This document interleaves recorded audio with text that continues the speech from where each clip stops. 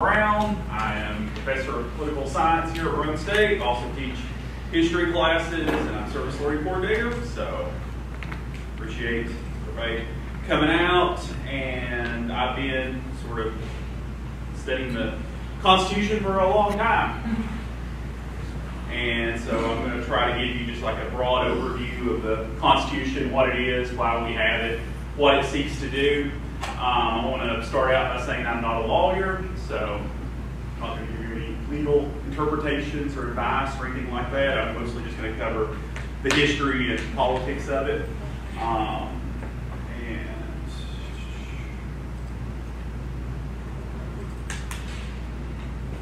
I'm trying to figure this out. Okay. All right. So, what is the Constitution? And I don't want to just sit here and ramble for an hour and a half because you don't like that. I like that even less. What is the what is the Constitution? Why do we have it? Or what is a Constitution?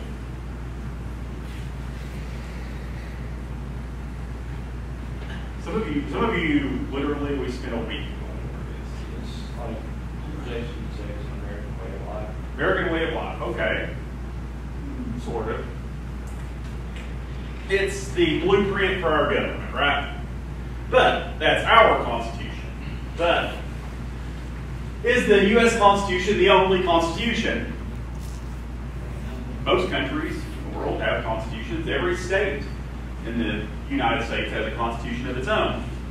And its textbook definition would be a document or series or set of documents, or possibly unwritten documents, which lay out the basic procedures and rules for society and how it should be governed. And as I said, it might be a written document, as ours is, or it may be a series of documents, or it may be completely unwritten. In Britain, do they have a constitution? They do, but it's not written. It's an unwritten constitution. So, United States U.S. Constitution, as you probably learned in elementary school, the longest surviving one, written constitution at least, in the world today. Why is that? Well, one reason might be because you can change it. We have an amendment process. Anybody know how many times the Constitution has been amended? 27, good. So 27 times since 1789 when it was ratified. That's what, 234 years? 27 amendments in 234 years is not very many, is it? And it's even more notable that a lot of the amendments, frankly, don't matter. Literally, two of them don't because they cancel each other out. And then we have an amendment where we move inauguration day from March to January. Who cares? Right? So there's only been a few, well, I should say a few, a relative few, that, that have really been significant. But we'll talk about that. So, how did we end up with the Constitution we have? You know from your history, hopefully, that before, about 15 years before the, 15, 20 years before the Revolutionary War, there was another war fought in North America, and that's known as the French and Indian War, which was part of the seven years, broader seven years war.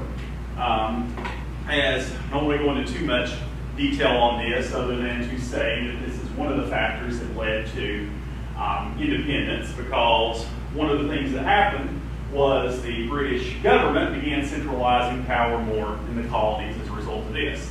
At first, to to uh, manage the war effort, because you do need some, if you're managing a war, you do need some centralization of power, right? You can't have 13 colonies all doing their own thing. And then afterwards, to pay for it. So, one of the first things which happened was the new British law called writs of assistance, which were passed in 1761 without consultation of the colonies. And what they meant was basically that customs officials could search any home or business where they suspected smuggled goods were stored. It was just basically like a general warrant for anybody that any customs official that wanted to use them. Huh. Is this going to be reflected later in the Constitution? How so?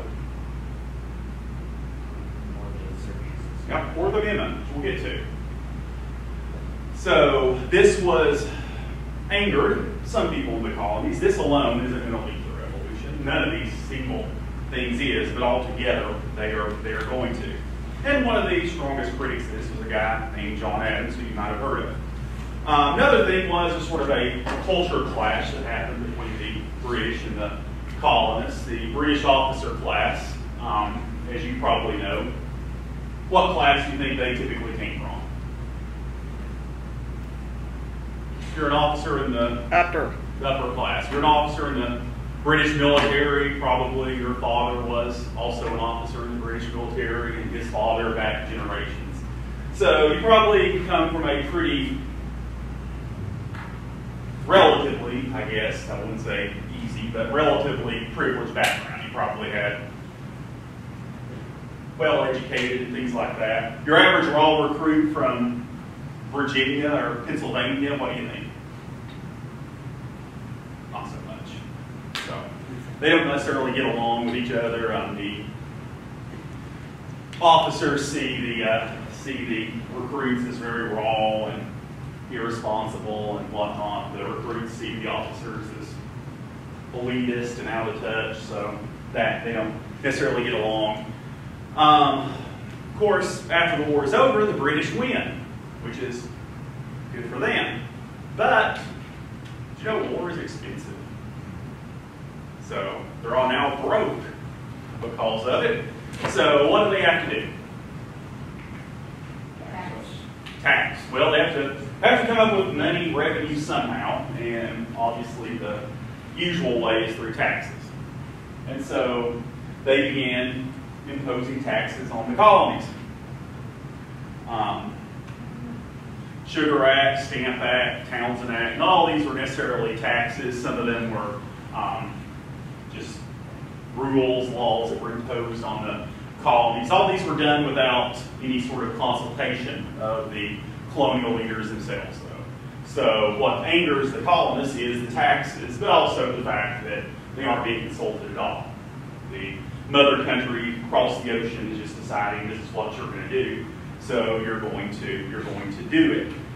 And so many colonial leaders were not happy about this. They felt they weren't being respected, their rights weren't being respected. And so they began pushing back against this um, through peaceful protests and through, at times, violence. Um, things like the Boston Massacre, Boston Tea Party. What was the Boston Massacre? Anybody know?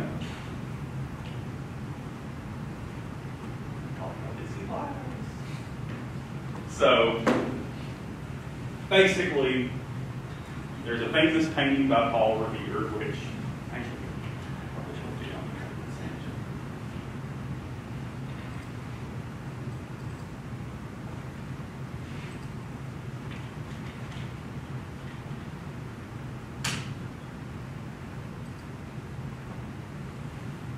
there. There you go.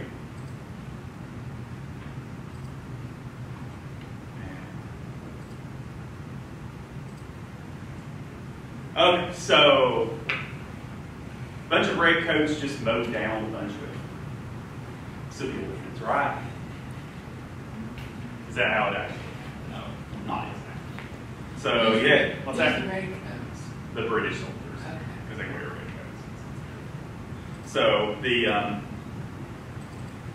what happened was, well, there had been. I don't want to go. I don't want to spend too much time on this, but basically there had been protests which had gotten unruly, and a group of large group, hundreds of protesters. Some of them were taunting and provoking some British soldiers and assaulting them, throwing rocks and blocks of ice at them. And one of them got knocked down, and he fired his rifle, and shots were fired. You hear the term massacre? How many people do you think of dying? Hundreds. How many actually died in the Boston massacre? Five. Was John was one of them, eleven-year-old child, What's that? eleven-year-old child? Uh, well, he, that was before. I sort of skipped over that. But that was one of the reasons That was, that, that was the campus. yeah, everybody. That's one of the reasons the like there was so much anger among the colonists because, and that hadn't exactly been so black and white either. It had been a situation where a mob of protesters had shown up outside the governor's, colonial governor's home and were throwing rocks at it. One of them hit his wife and knocked, broke a window and hit his wife and knocked her down. So he loaded his rifle with birdshot and fired and probably didn't intend to kill anybody, but he did. His birdshot struck the 11 year old. Both these things are incidents that you can interpret in different ways depending on where you're starting from. Um, like today, mean, if you watch the news today, confirmation bias is a thing. In the real world, it's pretty rare that you have a situation where everybody, one side does everything exactly perfectly, the other side does everything exactly wrong. Very rare. So usually there's enough that you can see, understand how people react as they do to a situation on either side. So whichever side you're predisposed to be on, you're going to see it from their point of view. Right? Which is why today, two different people can see the same event and they'll just see it as more evidence for what they already believe, even if they believe exact opposite things. So that's how it worked here. Um, reality is, in both of these situations, there's not really, it's not black and white. Um, there were, nobody is really evil here. You have some people that, on both sides, that did some wrong, for sure, but you can sort of, again, understand, if you look at it from a point of view, why they did. Because, you know, in the real world, when, when it hits the fan, people don't usually go completely by the book, right? Ironically, wasn't it John Adams that would represented them at court? Yep. John Adams was their defense attorney for the soldiers in the Boston Massacre, even though he was one of the strongest advocates for colonial rights. His view was we're a nation of laws. Doesn't matter if we like these people or not, they're entitled to a fair trial just as anyone else is. And uh, by serving as their attorney, I will ensure that they get one. And by all accounts, they did because they were all, I think all but two of them were acquitted. The two that were convicted were, though, really convicted on very minor charges and got a, like a brand on their thumb. So essentially, they got off, I would say. So, all right. So, and then the Boston Tea Party, this was the uh, protest. The uh, colonists decided to boycott British tea, so the British couldn't have that. So they tried to basically force um, British tea to be processed through the customs house in Boston. And there's a standoff. Time was kind of on the British British side on this though, because if stuff didn't, the law of time was that things didn't clear customs within, I think it was 20 days, it would be auctioned off to the public. So if they refused to process this, sit out here in Boston Harbor and wait for 20 days, and then the law says basically we'll win by default at that point. So to prevent that from happening, John Adams, Sam Adams, and some others dressed up as Mohawk Indians for symbolize American innocence and virtue and all that. Went on to the ship. Actually, Sam Adams, not John Adams. Sam Adams, John Adams probably would have done it. Uh, went on the ship and took the dumped it in the harbor. At this point, though, both the British and the colonials are pretty hardened into their positions. They aren't. It's not really about tea anymore. Just like again in our politics today, people get super divided over trivial stuff. It's not really that specific issue that's dividing them. It's problem. So, the um, colonies hold the first Continental Congress to uh, to try to organize, to try to fight back against this. But pretty soon, things are going to turn more violent. Um, they sent the, the Second Continental Congress sends what becomes known as the Olive Branch Petition to George III, asking him to intervene on their behalf. But they also establish a army to defend themselves. And Of course, this is seen as an act of war by the British, and we get skirmishes at Lexington and Concord, sort of the first shots of the Revolutionary War fired. Uh, Ralph Waldo Emerson in 1837 would have called this the shot heard around the world. Um, the colonials, the patriots win because they had spies who told them the British were coming, so they were prepared. Um, so Richard Henry Lee introduces a resolution declaring the colonies free in Britain. Resolution, not have heard of? Declaration. What is it? Declaration of Independence, which was written by who? Jefferson, right? With, well, committee of five people were convened to write it. Three of them you've heard of, two of them probably haven't. I can't remember the other two's names. Um, But three you've heard of are Thomas Jefferson, Benjamin Franklin, and John Adams.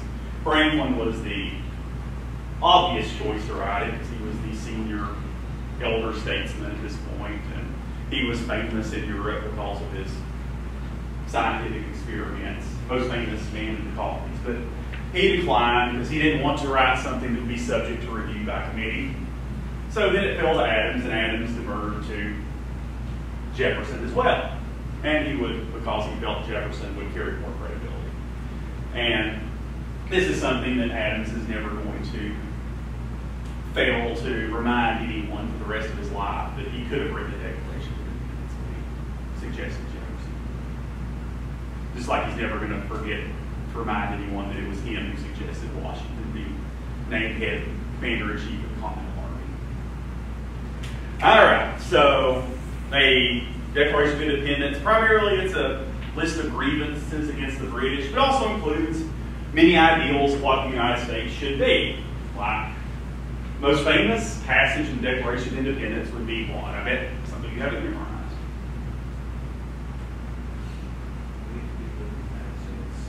That's the beginning. Yeah, okay, that's true. The next one is why we went for that. Equality. We hold these, we hold these truths to be self-evident that all men are created equal and they're endowed by the Creator with certain inalienable rights, and among these are life, liberty, and the pursuit of happiness. So, of course, Jefferson wrote that. It's a little ironic that he did Slave owner. because he owned slaves, all sold equal and slaves. So, but uh, we'll talk about that later. People are complicated. Okay, so we're fighting a war now. So against the greatest empire in the world, we better get organized. And so we create a new document. Well, yeah, a new document for a for these United States of America. And it is not the Constitution we have now, it is the Constitution 1.0. The Articles of Confederation. And so, under the British, we learned that too much centralized power can be dangerous, right? So, as humans typically do, we overcorrect for this.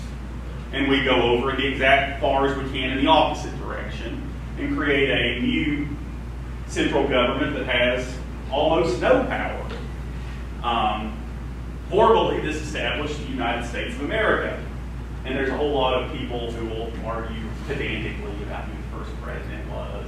The United States began on July 4, 1776. It began with the ratification of the Constitution. If it began with the ratification of the Constitution, then this is not the United States, even though it is. But you know what? It doesn't matter. Yeah. Weren't there like, I don't know what they call it exactly, there were like ten different leaders in that span before we finally. Yeah. The uh, Continental Congress elected a president, and so you could argue, and I can't remember the person's name, but you could argue that was actually the first president. I know John Hancock was one of the. Yeah. first. He might have been first one, I can't remember. But, but, you know, Articles of Confederation didn't really work out. Um, it established a League of Friendship, as it was called, but had no president. Each state had, once each state had one vote, regardless of population. And to amend the articles, you had to have unanimous consent of all states. So you could, vote could be 12 to 1, but it would still fail because you need all 13 to sign on. So, it didn't have any power to raise revenue either. It could only request revenue from the states. How well is this going to work? Well, seemingly, at least to some, it worked pretty well for a while. Um, some of the founders, Alexander Hamilton most prominently, but Madison, Jay, some others, all didn't like this basically from the start because they felt that there was not enough centralized power. Hamilton especially is going to be more of an advocate of a stronger national government.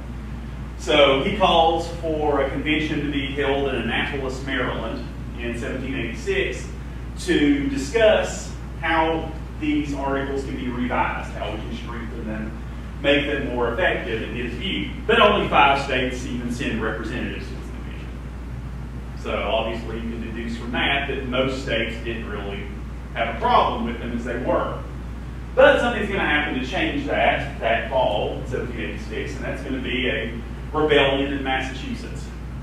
Daniel Shays had been a was a veteran of the Revolutionary War, served in the Continental Army, and he, along with some other farmers in western Massachusetts, were mad because the government in Massachusetts had raised their taxes to the point that they couldn't pay their mortgages on their farms. And so Shays' view was we fought a war over taxation in 1776. We won. Now we have a new government which is taxing us more than the British ever did. Taking up arms was the right thing to do in 1776, is it also the right thing to do in 1786? Is it? You can see his point. But most of the colonial leaders, with some exceptions, did not agree. Because their counter to that was that, well, under the British system, we had no voice at all. There was, we didn't have, we had elected government only in the colonies, but the British ultimately got the final say. We didn't have a voice there. You couldn't run for the parliament. You couldn't vote in parliamentary elections. Under this new system we have, you can vote. Daniel Shays, if you don't like what the government in Massachusetts is doing, you have the option to run for office yourself. And if you get elected, you can change what they're doing, right? So, while rebellion and revolution might is, the founders would say, obviously acceptable, only if you have no other alternative, which they would argue Shays did have. And ultimately, Shays' rebellion doesn't succeed, but it does send shockwaves throughout the colonies and convinces many of the leaders of many of the, or the states at this point that we do need a stronger central government. We need some security here. So, liberty versus order, which is going to be one of the big themes. You know, if we have any government at all, we would be totally free. You believe Hobbes, right? But what would life be like if everybody could just do whatever they want? Fun? In a way, it'd be fun if I could do whatever I want, but it, but not so much if everybody else could do whatever they share anarchy. Yeah, yeah, exactly. Nasty, brutish, and short. So you need some order, but not too much. You know, places like China or North Korea, the streets are safer. Saudi Arabia. It's true. You know why? Because they'll just kill you. You cause problems. But the cure at that point is worse than the disease, right? Like, we have to balance these two things. So that's what the Philadelphia Convention, when they convened, sought to do. Um, their original goal was to fix the Articles of Confederation, revise them, but they decided pretty quick that the Articles were a lost cause. So they just scrapped them and started writing a new constitution, went to work writing a new constitution. Um, this happened in the summer of 1787, one of the hottest summers it was said ever, up until that point, I guess at least. Um, the, the proceedings happened in the State House in Philadelphia. All the doors and windows were closed and locked because outsiders weren't allowed to take part. How did gentlemen dress in 1787? Lots of layers, right? So, unusually hot summer. Crammed inside with all the doors and windows closed, wearing layers of clothes. You think this was a fun place to be? And probably this did have some effect on the Constitution we ended up with. Now, this is one of those things that's really impossible to quantify. Like, we can't say how, but at the very least, it probably contributed to tempers, lack of patience, et cetera, et cetera, right? I mean, if you're miserable, you're not going to be as nice. Probably smelly too. Probably smelly, yeah, but I mean, to be to be honest, everybody probably smelled that. Or running water, you couldn't really bathe regularly. So, I mean, you could sponge bath. That sounds good. I mean, in the summer, you still have to breathe. Winter, not so much because you'll get pneumonia. Ah, we have it pretty good? Okay, so goal was to create a new government that's strong enough to govern, but would also protect individual liberty. And James Madison is called the father of the Constitution, which is probably accurate. He is super influential on it. Um, but also, one of the other reasons we he is is because much of the proceedings we have, we know about, are from his point of view. He kept detailed notes on the proceedings day to day. He's the only founder that did so. And everyone else was sworn to secrecy, so there's not any like written accounts as they happened that were published at the time. So we really get it from his point of view, which is going to affect how we see things, right? Um, but by all accounts, he is super influential. Now, worth mentioning a few things. He's probably the most influential one that you've actually heard of. Many of the other influential ones are less known. The ones you have heard of probably didn't contribute all that much. George Washington, president of the Constitutional Convention, but he felt, in his view, that as president, he basically would serve as a moderator. Like president words preside, right? So he presides over the proceedings, but he doesn't actually take a position on, I think he takes a position on one minor issue towards the end, but that's it. Otherwise, he tries to be neutral. Now, doesn't mean he didn't have some influence. As you know, a, moder- a debate moderator can definitely influence the direction the debate goes and things like that. But probably not super influential. Benjamin Franklin at this time is, I think, 81 years old. He suffers from severe rheumatism. He has to be wheeled in. He falls asleep during much of it, mostly just tells stories. 81 is old today, probably much older at that time. Um, Thomas Jefferson is not there. He's in France, serving basically as an ambassador. John Adams also not there. He's in England, basically serving as ambassador. So, of course, Madison did write, I think he wrote a letter to Jefferson asking for advice, and Jefferson sent him about 80 books. And he probably read them all very good, probably a reason. All right, what the delegates are. There are 55 of them, all men, no women.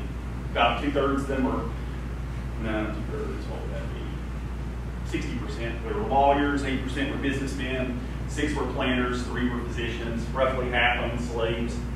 Interestingly, most of them were actually fairly young.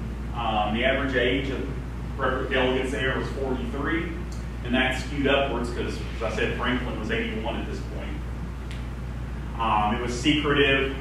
Um, press and the public were barred from attending. Smoke-filled rooms, maybe. Um, convention rules were one state, one vote. So, how, who, why did they write what they wrote? Well, what's going on at this time that's relevant to this in terms of a, don't know, intellectual, philosophical, scientific movement in Europe, John Locke, the Enlightenment. So, mentioned Hobbes, humans are not good, for his view of human nature. Most of the founders were more optimistic than Hobbes. They were more in the Lockean camp. Uh, Montesquieu, the French philosopher, suggested three branches of government as a way to uh, keep it in check. Most influential philosopher probably was a guy named John Locke, who was an English philosopher. He, he posited that humans had three natural rights. If Anybody know what they are? Life, liberty, and property. Very good. Which sounds a lot like. Very good. I think Jefferson might have been inspired by that, for sure. So he also Locke. Locke really believed, and the Enlightenment generally believed that human nature is essentially good. Humans are basically rational. Um, you don't have to assume the worst about humans. They don't. It wouldn't be so naive to say all humans are good or all humans are good all the time. But basic assumption is humans are good and rational, which implies that humans are up to the task of self-government, right? If humans are not good and not rational, then we may need a king to control us, right? But if we're good and rational, we don't need that. We can do it ourselves. And so um, that's where sort of the Enlightenment worldview of the founders were coming from. Um, aspects of British law also were influential. Magna Carta, which in Latin means grand charter. Um, don't want to get too much into this, but there is still a monarch in England today, you're right. How much power does he actually have? Pretty much nothing. Once upon a time, you know, the king or queen had absolute power. And over the centuries, that power has shifted away from the monarchy to the You know, Parliament. You know exactly that happened. What's that? Like when exactly the. Uh, it didn't happen all at once. It was kind of a gradual process. It began. The process began with the Magna Carta, though, because that's when it was declared that the king had to follow the same, had to follow the law just as everyone else did. So the implication there is the law is not simply what the king says it is. There is a natural law. And common law, this idea that um, previous the precedent is respected, like in court cases, typically, not always, but typically, precedent, like if there's a case before a judge dealing with constitutional law, the judge will look back and find a similar case, find out what the ruling was, and basically, typically uphold that. Not always, but usually. All right, so controversies. Big states versus small states. How do we do representation in this new national government? Should we do it based on population? In other words, if you're Virginia and you have the biggest population, should you get more representatives than uh, the Georgia, I think, is the smallest one population-wise? Should you? Well, if you're Virginia, you think so. If you're Georgia or North New Jersey, you don't think so. If you're New Jersey, you think we should all get equal representation. States should all get equal representation. Of course, that means citizens within the states don't get equal representation, right? Because if you're in a small state, you get the same votes as if you're in a big state. Effectively, people in the small states, votes matter more. So, how do we solve this? Well, Virginia plan wanted to do it based on population. New Jersey plan wanted to do it based on every state gets one vote regardless of size. And this was a log jam that looked like it might derail the whole convention, but it was ultimately resolved with compromise, what became known as the Connecticut Compromise or the Great Compromise. How do we do it today? In the, in the government, national government, do states get representation based on population, or do they all get the same number of representatives? Yes. Yes. Both is the answer. The House of Representatives is based on population. So bigger states get more representatives. Senate, everybody gets two senators regardless of population. So that is resolved. Next is those who wanted a stronger national government versus those who wanted a weaker national government, nation versus state. Uh, Hamilton, as I said, is one of the advocates of a stronger national government. Generally, the founders mostly want shared government. They want state governments to continue to exist and have roles, but they also want a national government as well. But they disagree specifically on the extent to which each we should go in either direction. Um, so ultimately, compromises here are that Congress is not granted general legislative power, but rather enumerated powers. And enumerated means written out. So if you read the Constitution, it says that Congress has the ability to declare war, make treaties, um, coin money, engage in foreign relations, etc., etc. It also says Congress has the ability to make, to tax to provide for the general welfare and to make necessary and proper laws. Do you see any, I don't know, potential for controversy in those last two things? It's quite broad. It's quite broad. What does this mean? What is the general welfare? Who decides the general welfare? What are necessary and proper laws? If you, if you propose a law in Congress, presumably you think it's necessary and proper, don't you? I mean, you wouldn't think they only have the right to institute unnecessary and improper laws. So, the short answer, of course, much of what the federal government does today is not explicitly in the Constitution. There's nothing about Social Security in the Constitution, Medicare, Medicaid, national parks, public education.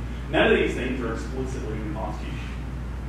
But Congress would argue, and the courts have backed them up mostly on this, is that they would both fall under general welfare necessary and proper. So they created jobs for lawyers. basically what I said. Well, the reason they, why did they use vague language here? Yep, that's part of it. They couldn't predict things would come in the future. But also probably they themselves didn't, couldn't agree on more specific, specifically. Later on, Madison is going to argue for very narrow interpretation of this. So basically, only what's explicitly in the Constitution with some, only the most obvious of exceptions. Hamilton's going to argue, well, the Constitution doesn't prohibit the government from doing it, it can do it. They basically put the argument on its head. The Constitution says the federal government can do certain things and cannot do other things. But on most things, it says nothing. Everybody can agree it can do the things it says it can do, and it can't do the things it says it can't do. But what about everything else? You could argue, well, if the founders intended this, they would have listed it among the things they can do. You can make that argument, except that you could just as easily make the argument that if they didn't want it, they would have said they couldn't, because they didn't list things they can't do. Founders didn't agree themselves on what this meant. So, surprise, surprise, we don't agree today on what it means either. People who wrote it couldn't agree. But, you know, this might be a flaw, but it's actually the genius of it as well. Probably too, because if they had been specific, more specific, the Constitution would have been stuck too much in 1787, which means how's it going to apply when we get to radio, TV, the internet, et cetera, et cetera, right? So that's also the genius of it. And of course, the worst aspect of it, slavery. So about half the delegates of the Constitutional Convention owned slaves. Um, most of them would have agreed, in principle, in theory at least, that slavery is wrong and that it's incompatible with a republic based on the idea of liberty, natural rights, et cetera, et cetera. You can't on the one you can't on the one hand say all men are created equal and, and have certain inalienable rights, and on the other hand buy and sell them as property. So, what do you do?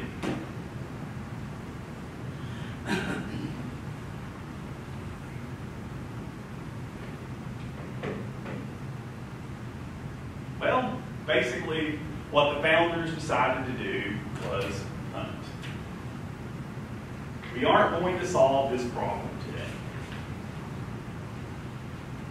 What we are going to do, though, is hope that future generations will be able to do this peacefully,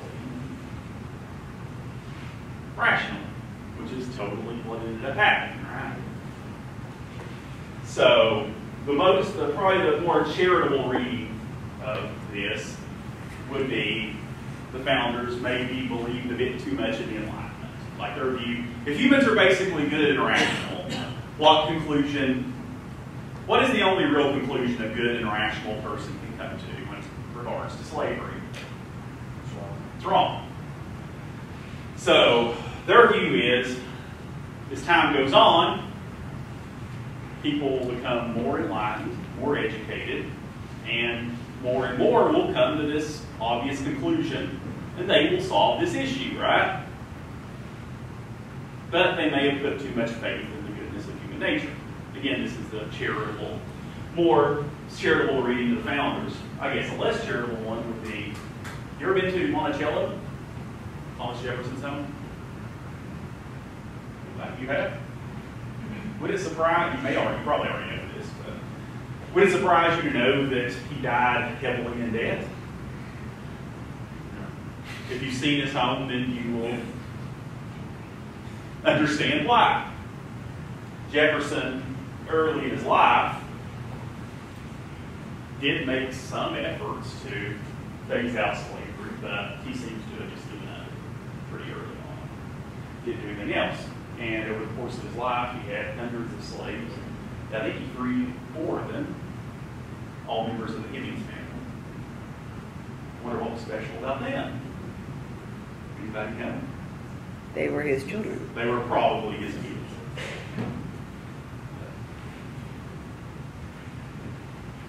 Well, Sally Hemings was said to be, probably was, because, I don't know what word to use here. Paramore. Paramour, mistress doesn't really work, because how much, like, consent is involved when you're literally owned by another person, right? So, Um, she was also said to have been his deceased wife's half-sister. She had been originally owned by Jefferson's father-in-law. So she was, I think, three-fourths white and one-fourth black. Jefferson's wife died when he was about 40, and he never remarried. Sally Hemings is his dead wife's half-sister. Maybe, we don't know what she looked like. Maybe Freud would have some to this, I guess. But we don't. So, what to do about this? They decided, they threw some compromises in there. Slave, international slave trade is going to be banned as of 1808, so 19 years after it's adopted. But the most infamous example here, the most infamous thing would be the Three-Fifths Compromise. How do you count? We have to take a census periodically, because that's how we determine the number of representatives, representatives each state gets, right? So that's why we do a census. How do we count enslaved persons towards this number? If we count them, if we count them, ironically, that will only give the slave states more power, right? So if you're enslaved, you probably would prefer not to be counted at all. It's not as if you getting counted is going to result in you getting representation in the government. It's going to result in your getting representation. But ultimately, the decision was made that five slaves will count as three people for this purpose. And so, again, idea is that future generations, they'll figure this out, right?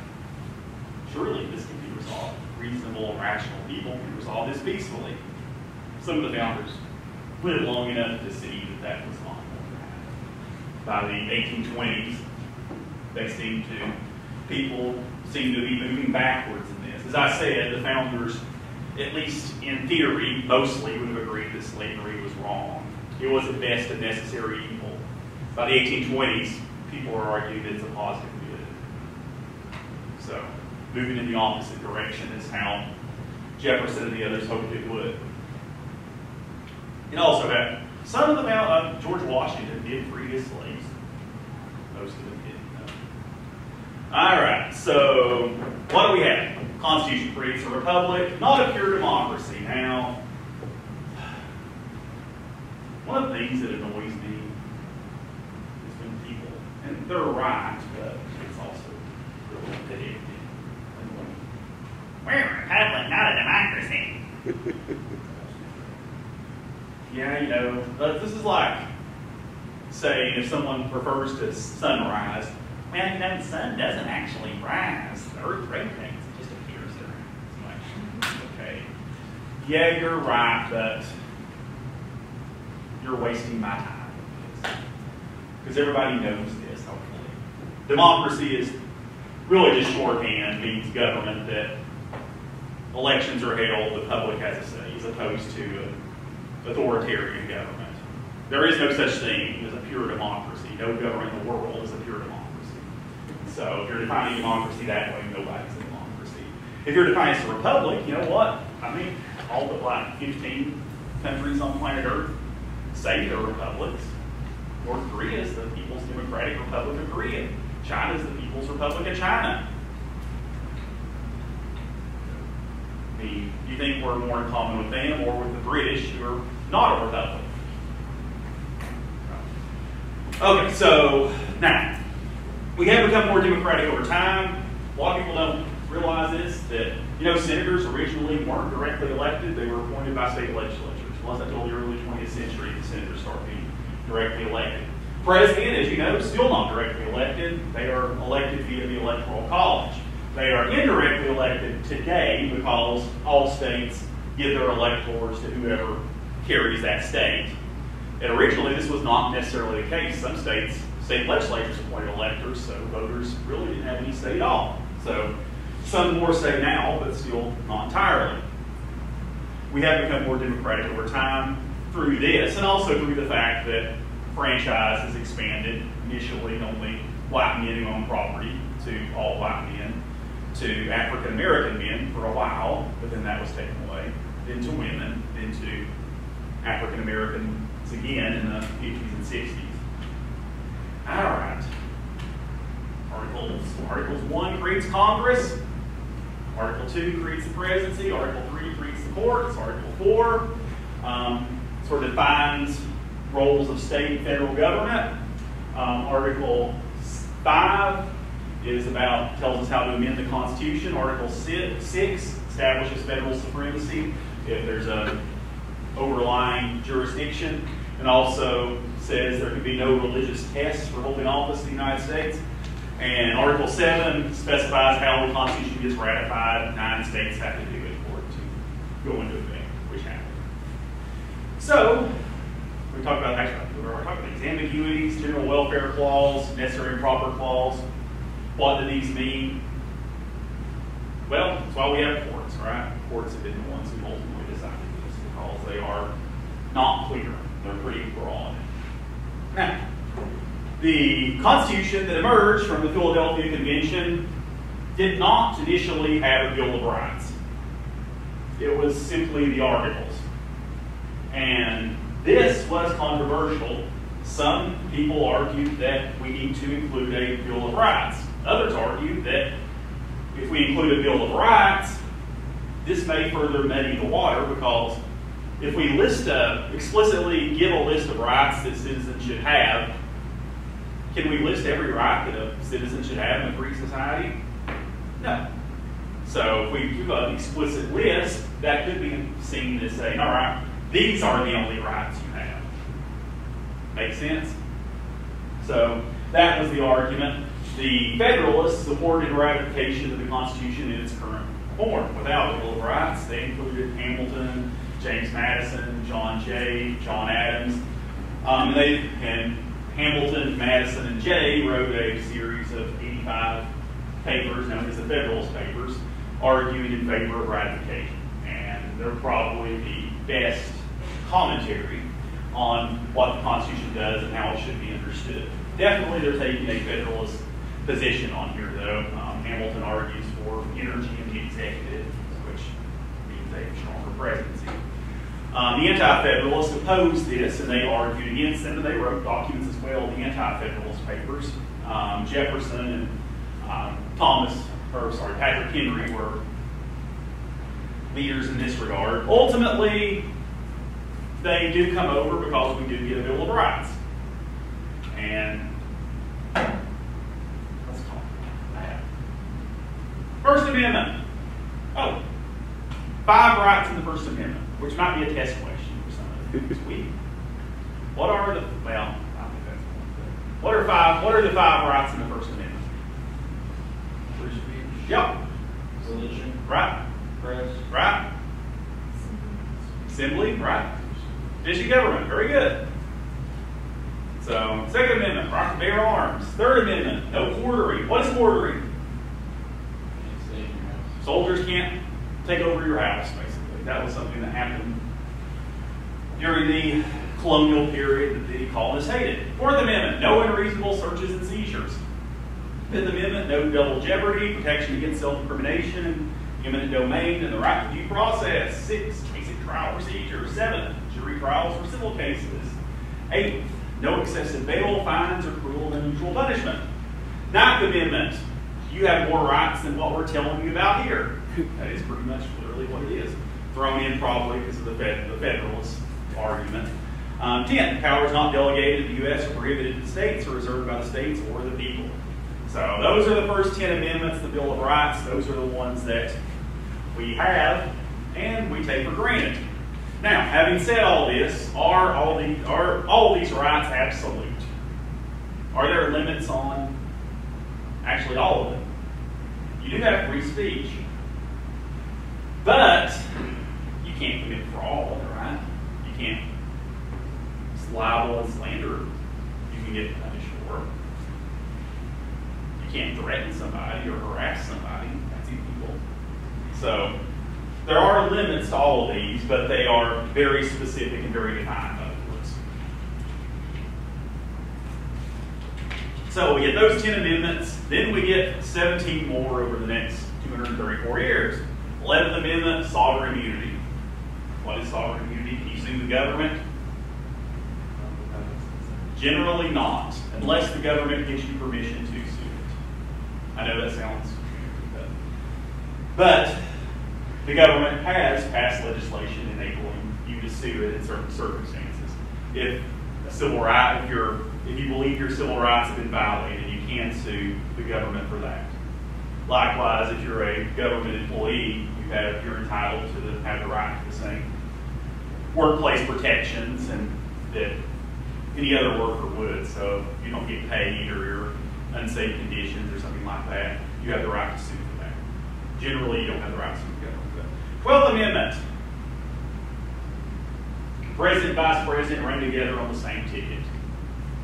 Because it wasn't originally that way, as you know. The one who got the most electoral votes became president, the one who got the second became vice president. And that created a little problem in 1800 because Jefferson and Burr were effectively running for president, vice president, respectively, but they tied in the electoral college, which means the House chooses the president by state delegation.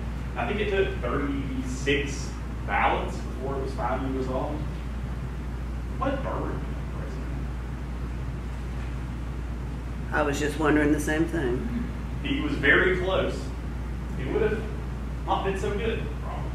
You know, well, well, you know, like what you know about Burr later on. Kills out Alexander Hamilton duel while he was vice president. You can't imagine the vice president.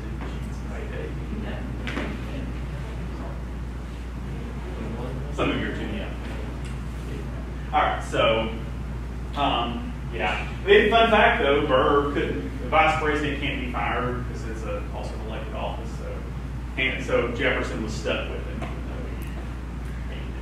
Until 1904, he could dump him and find another running mate. All right, so that won't happen again. Although there are still some quirks. If nobody gets a majority of electoral votes, and the House does still choose the president, the Senate chooses the vice president. Hopefully that doesn't happen next year because I have a feeling that could be very, very bad. All right, that was 1804. We go 61 years before we get another amendment. Then we get three over a five-year, or yeah, five-year period. Well, between 1865 and 1870, what had just happened and was happening?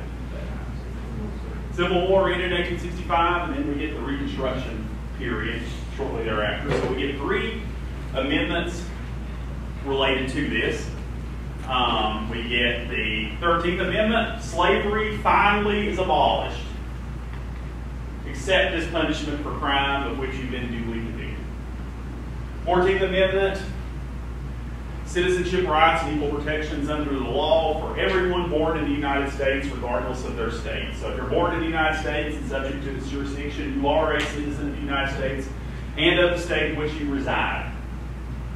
And by the way, your citizenship rights and protections apply to the states as well as the federal government. Obviously, this was done to confer citizenship and rights on freed slaves. But this is actually one of the most consequential amendments in U.S. history because, you know, Brown versus Board of Education decision, Loving versus Virginia, Roe versus Wade, Obergefell versus Hodges, all these have a basis in the 14th Amendment. 15th Amendment, right to vote can't be denied based on race.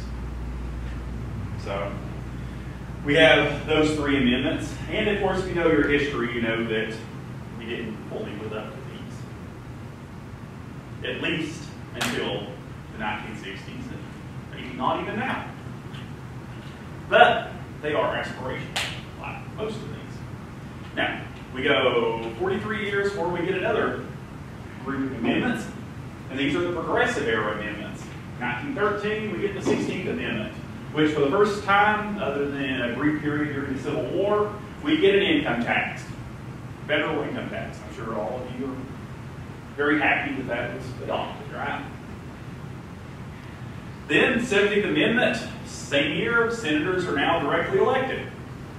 Then the 18th Amendment, prohibition. And the 19th Amendment, right to vote can't be abridged based on sex. Which was the, you may know the decisive state on that one, the one that cast the deciding vote. Since I'm asking, you probably can guess. Tennessee. Tennessee that passed the state legislature in Tennessee by one vote by Harry Burn, who later on lived in Omaha. So, actually, a guy wrote a book about him. It's what for Constitution Day. I don't know, it was two years ago, something like that. Years ago, maybe. All right, so 1920, we get uh, women get the right to vote.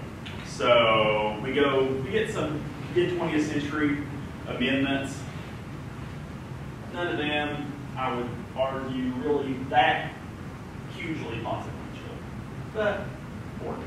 We get, we move inauguration day from March the 4th to January 20th, right? And congressional sessions begin January 3rd. Previously, votes had begun on March the 4th. This was to reduce the lame duck period after an election. Um, we get the 24th Amendment, or 21st Amendment, which repeals the 18th Amendment, so no more prohibition. Well, in some states it remains federally. And then, 18 years later, we get the 22nd Amendment, which says the president can only serve two terms or 10 years. Why was that passed, do you think? Roosevelt. Roosevelt served 12 years and had been elected to a fourth term. Would have served at least 16 had he survived.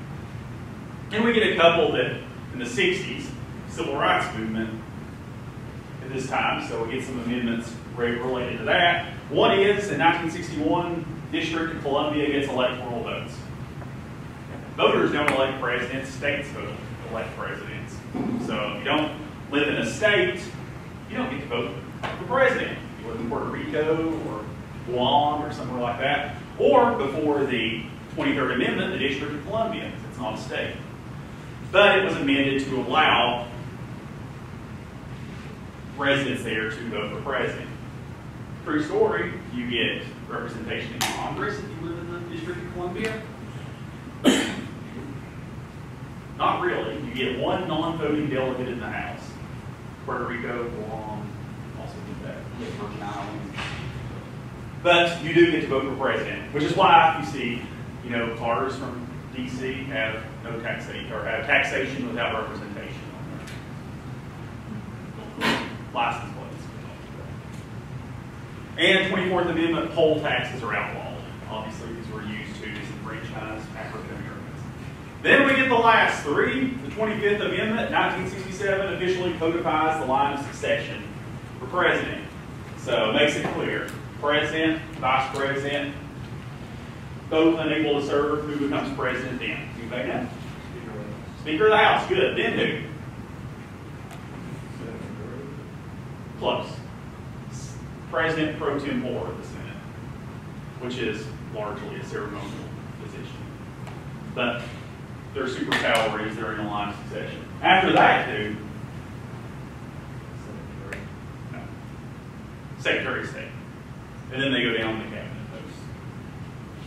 Which is why during the State of Union address, there's always one cabinet member who's often a bumper somewhere in case something bad happens. So codifies the line of succession. Also includes a section which governs what should happen if the president is unable to exercise their duties as president. You may know Woodrow Wilson, towards the end of his presidency, suffered a stroke in office. Was pretty badly incapacitated by it. And his wife basically served as president during that time. Uh, Post World War II, Cold War, the era of nuclear weapons. You can't really have that. You could get away with that back then, but not so much now.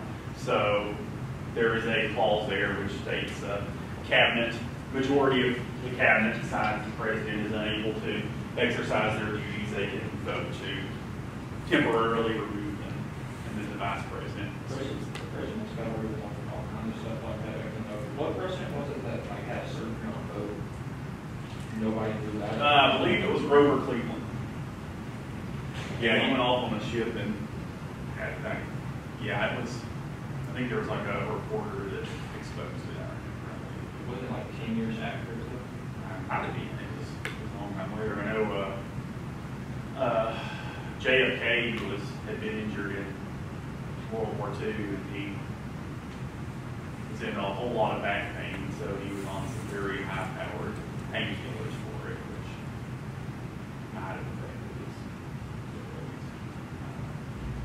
Probably, Say you probably can get away with that now, but I'm actually not sure. All right, 26th Amendment, voting age is lowered to 18. This was 1971. What's going on in 1971 that would be relevant to this? Vietnam. Vietnam. So we're going to draft 18-year-olds. Maybe they should get a say. The government. And then we go 21 years and we get the last amendment, the 27th Amendment, which if Congress votes to change their rate of pay, the rate of the change does not go into effect until after the next election. Fun fact, this one was actually one of the original 12, which were proposed in 1789. Only 10 of them got ratified at that time. They became the Bill of Rights. This was one of the two that didn't. They just floated around for years and years and years until the 1980s when a student at, think it was the University of Texas, named Gregory Watson, found out about it and wrote a research paper for his political science class. And his professor, he argued in the paper that this amendment could still be ratified and should still be ratified. His professor disagreed and gave him a C for his paper. So he started a letter writing campaign and ultimately convinced enough state legislatures to ratify and it got adopted. So as I tell you all, if any of you can get an amendment out of the Constitution, I'll give you an A class. Probably, probably should get started though, because we have less than three months. All right, will we add any more amendments? Probably at some point. I don't see it happening in the near future. But then there's also some things like, might, might be called the invisible constitution, things which aren't written in there, but which are very important to, which we, it's hard to imagine it's functioning without. One is a two-party system. Political parties not mentioned in the Constitution. Founders thought, really didn't think, well, thought that, you know, leaders shouldn't be partisan. They should compromise. They should um, work together for the good of the country. Probably worth mentioning, most of them ended up joining political parties later on. So didn't really work the way they envisioned it would in practice. Supreme Court can overturn acts of Congress. The Constitution doesn't say this. This comes from the Marbury versus Madison decision. But we take it for granted, and it's hard to imagine that not being the case, right? Um, stare decisis, which I'm not Latin, so I pronounce Latin, probably correct my pronunciation for that. Stare decisis. What's that? Empty pieces. Oh, very good. I should record you saying it. Play it. Um, so, standby past decisions, right, is what that means. Yeah. So, respect precedent. We have nine Supreme Court justices. Constitution doesn't give a number. Nine is just the accepted number. Peaceful transfer of power and filibusters. What are filibusters? Talk a bill to death, although we don't, have- we don't actually do that anymore, we just threaten filibusters. Back in the good old days when you got up and for, I think, Strom Thurmond holds the record for that, stood up and talked for twenty-four hours, thirty-seven minutes. Think any of you could do that?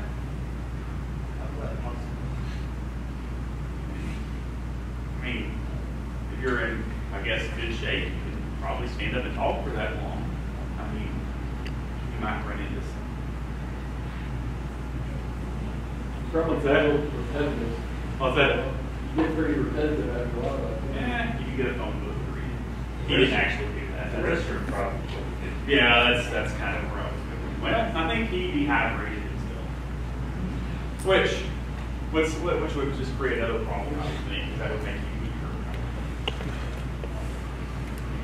Um, I mean, get creative with that, I guess. All right.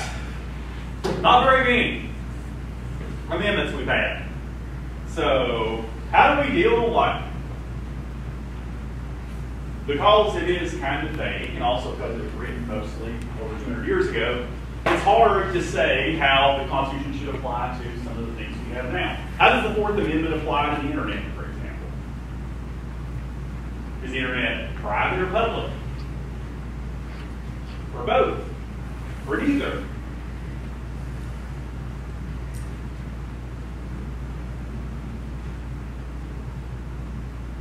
Nobody has an answer? I say both. Both. Well, it probably depends. If you post something on social media publicly, then that's the same, I would say, as announcing it publicly. But what about your DMs? Your? Private? I don't think so. Would like to think so. Well, that's your search engine history on Google.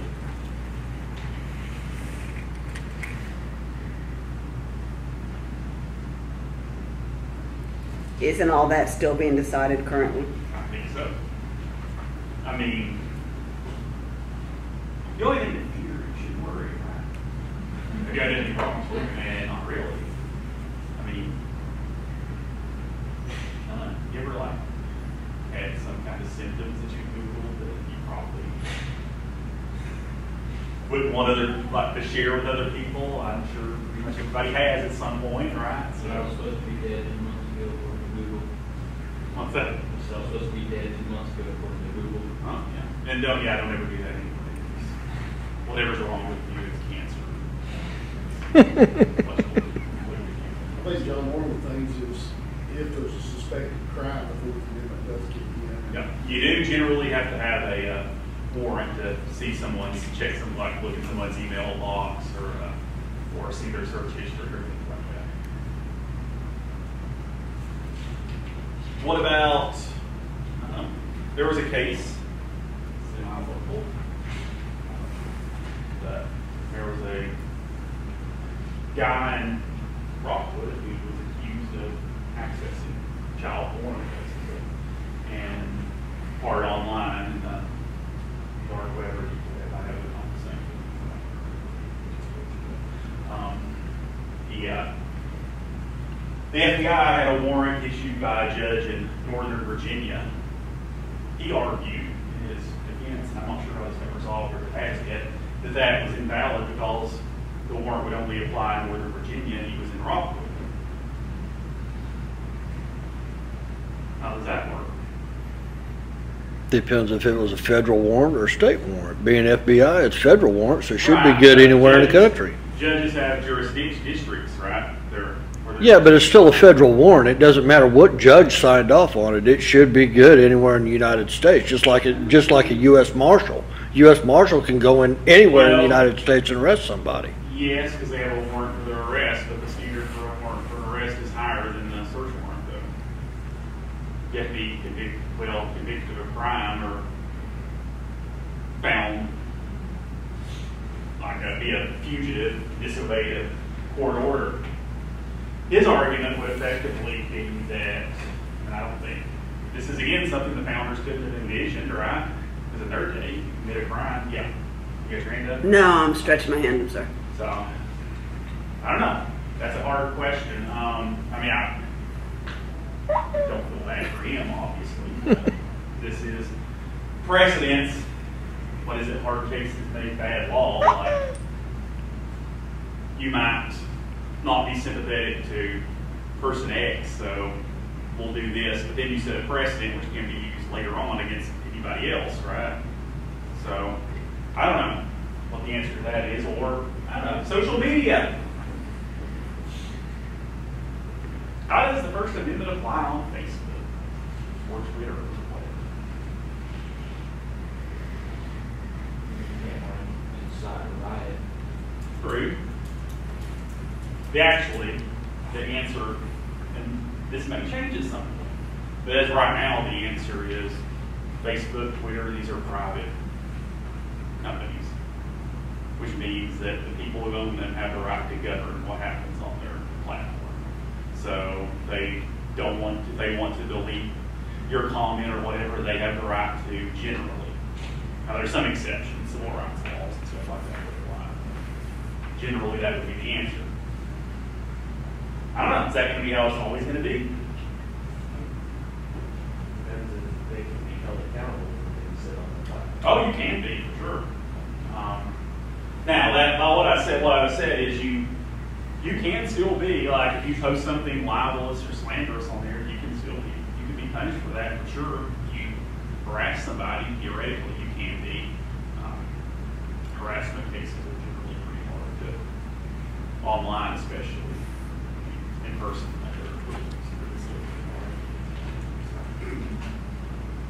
What would, what would James Madison say if we brought him back to life and asked him about asking these questions?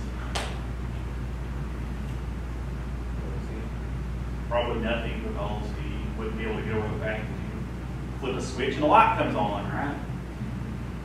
His answer though would be, I don't know.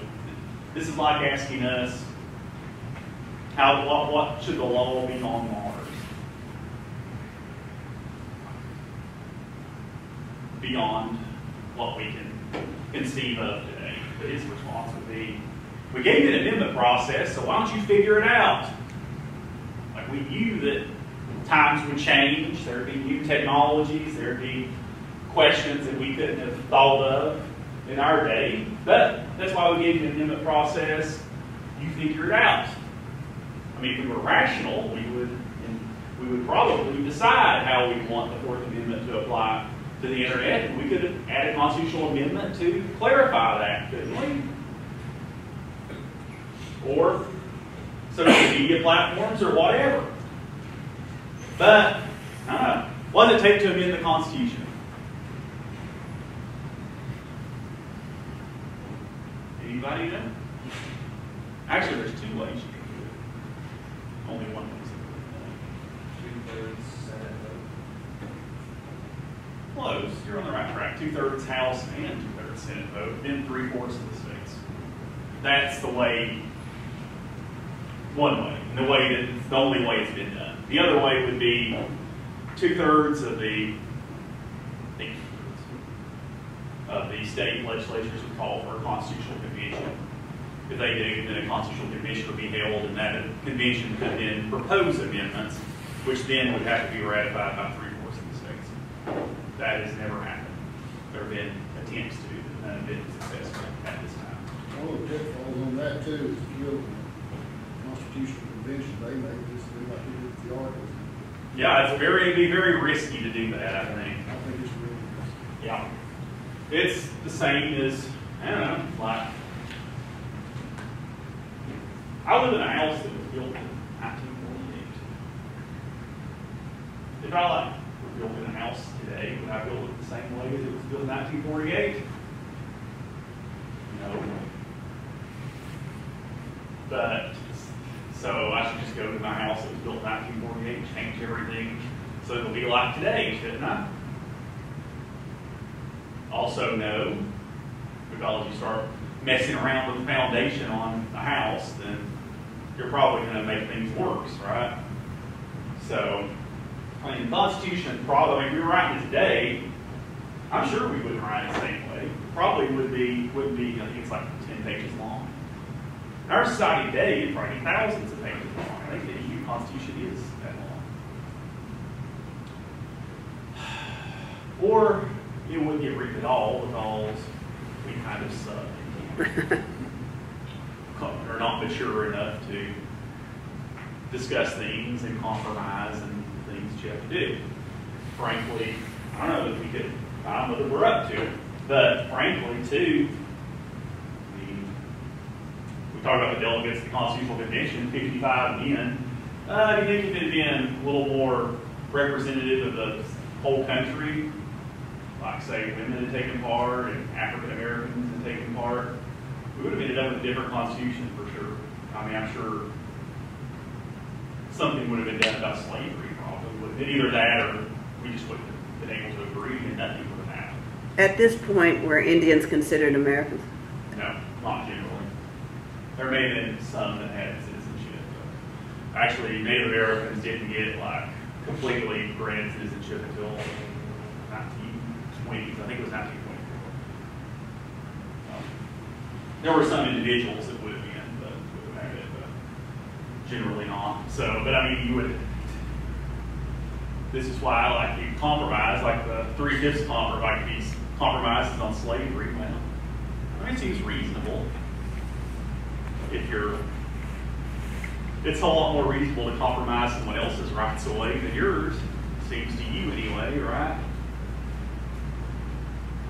So, and founders probably unintentionally allowed this to persist too through the Senate, because the Senate means by the 1820s, 1830s, the free states population was much bigger than the slave states population. But thanks to the Senate, there was an equal number of slave and free states, which means they had disproportionate power. I don't think they intentionally designed it that way, but that did end up happening. Previous clause did too. Adams would have won in 1800 added to that. Which I don't know. In that case, Jefferson was a objectively a good president, I think. So, uh, but point stands. Thoughts, questions, concerns, comments?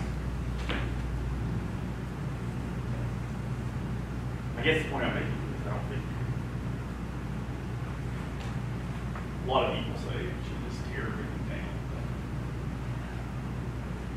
I think we can tear it down, sure. I don't know, building things back up is a whole lot harder, so I don't know. And I don't know if we're up to it. Maybe we are, but we'd be better off if we want to change things and amend the Constitution, trying to amend the Constitution. Which is hard, for sure. Yeah, I mean, you, you can, again, you can tear things down, like, most, re- most revolutions actually don't succeed. Not long after we had our revolution, we had a revolution in France, how'd that go? Not good, no. All right, questions? Appreciate y'all coming out. I will see most of you in class, I'll see all of you it's not that was a good class on uh, Tuesday. And remember, test Tuesday, right?